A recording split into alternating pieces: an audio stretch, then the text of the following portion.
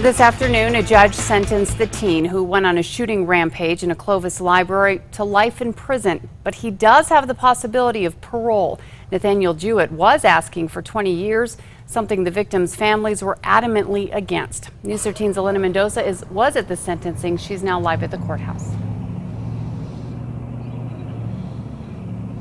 Kim, the judge called this a tough decision, but he did give Jouett some hope with this sentence. For the willful and deliberate murder of Wanda Walters, Your sentenced to life in prison at the Department of Corrections. Jouett was 16 when he killed two people and seriously injured four others inside the Clovis Carver Public Library on August 28, 2017. The, the judge delayed his decision until today, saying he needed more time to think it over. He had a lot of discretion in this case. He could have given him anything from probation to two life sentences plus 93 years. The state asked for 96 years, while the defense asked for 20, saying Jouett had a rough childhood but the judge rejected both of those suggestions, giving him two life sentences and 40 years.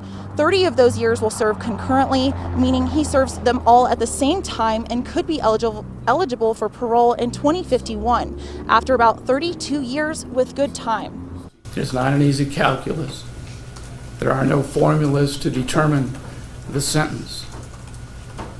There is everything I have heard from each victim and everyone else who spoke from Nathaniel from the experts, from the harrowing videos.